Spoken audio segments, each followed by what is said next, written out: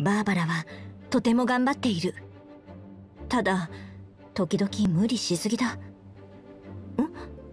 どうしてそんなによく知っているかって？セピロス教会も騎士団の管轄だからだ。リサ彼女がいれば何かと安心だ。アンバーはこのところ着実に成長している。いつの日か彼女の功績も銀融詩人によって歌われるといいのだがそうか。ガイアも君にアドバイスをしたのか。彼は優れたセピロス騎士。それは間違いない。遊ぶことが子供の仕事というがクレイが気に入るおもちゃは危険なものばかりだ。なかなかに安心できない。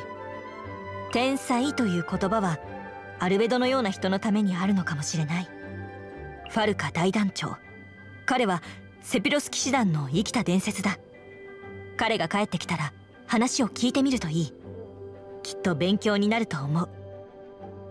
ノエル。あああのセピロス騎士になりたがっている少女のことか。彼女の心にはまだ迷いがある。今の彼女が外の危険に触れるのはまだ早いかもしれないな。ロサリアさんはいつも面倒と口にするが実はかなり頼りになる存在だ。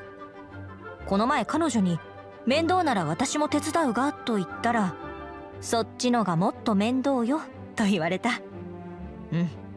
やはり私もまだまだだな。ディルック先輩の騎士団への態度には理由がある。申し訳ないと感じつつも結果は変えられない。私の努力で少しでも騎士団を見直してくれたらいいのだが。はあこれは私がなすべき責務だ。ディルックは尊敬に値する先輩だ。選んだ道は違うがモンドを守りたいという気持ちはちゃんと伝わってくる。錬金術師として彼女も優れた才能の持ち主だ。それにアルベドがついているから心配はないと思う。ただいや何でもない。自分の世界に入り込むのは悪いことではないはずだ。エウルア 彼女の生まれについては気にしないであげてくれ。セピロス騎士団は一人一人を平等に評価する。エウルアは物事の善悪をはっきりと理解していて才能にも恵まれている。時に危険な発言をするのは彼女の性格から来るものだ。だからどれほど私に挑戦的な態度を取ろうと私は気にしない。私の肩にはセピロス騎士団の信頼そしてモンドの民の期待がかかっている。だから気を緩めるわけにはいかないのだ。バネッサのダンディライオン騎士の名は現在にまで受け継がれている。かつて数々の偉大な騎士たちがこの栄誉を授けられてきた。私がこの名を汚すわけにはいかぬのだ。だから決して気を緩めてはいけない。